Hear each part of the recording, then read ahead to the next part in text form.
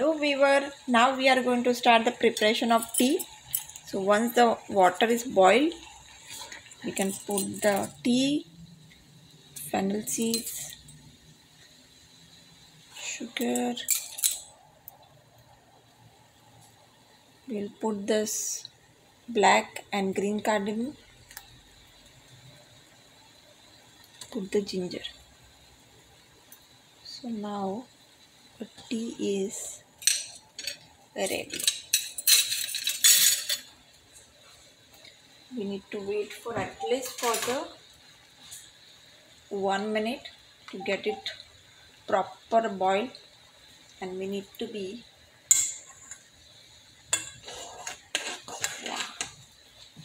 wow, the aroma is really good you know. You should try this. The steps which i'm following. So next step we will start with the milk